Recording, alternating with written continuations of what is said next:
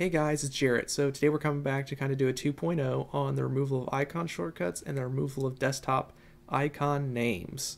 This will help you clean up your desktop. And the reason I'm doing a 2.0 is due to all these comments. And I just want to say thank you guys for commenting. Please keep commenting. It helps me know what, what other content you guys are wanting. So I just want to say thanks for all the support and you guys are awesome.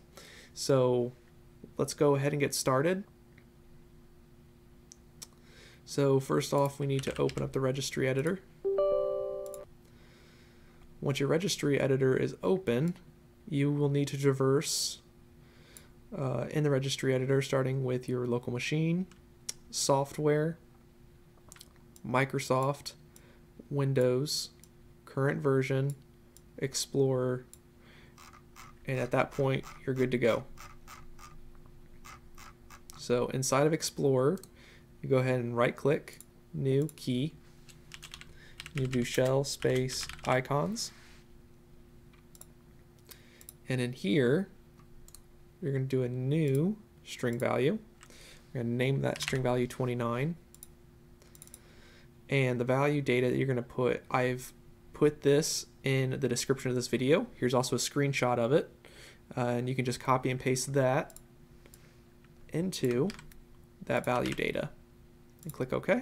And now you're good to go. Uh, you can go ahead and close your registry editor. And now all we need to do is log out and log back in. Hey guys, now that we're back, I'm going to show you guys how to convert the names to being blank.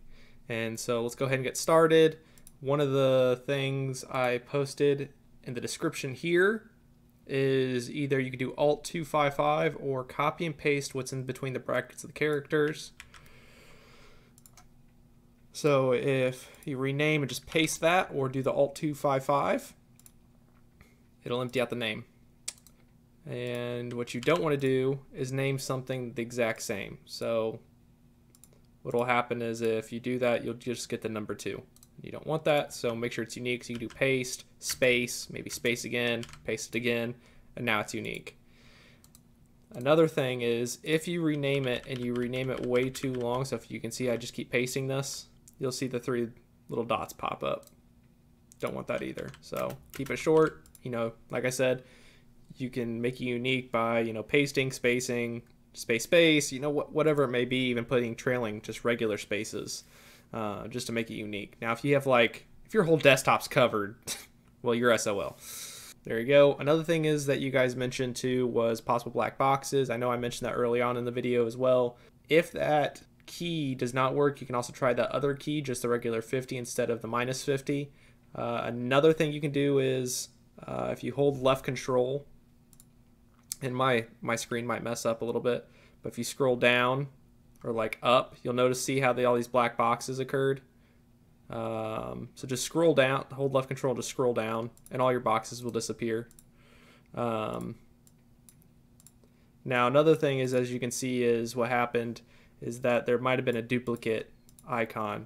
So, for example, it says it doesn't find it because it's not real. So, if you rename one of your icons and a duplicate icon occurs, just hover over the one you renamed. If it looks good, cool. You might just need to log out, log back in, and these fake icons will just disappear. No concern there. Um, so hopefully that answers all your questions. If you guys have more questions, just post in the comments of this new video. I would love to help. You guys stay fresh out there. You guys rock.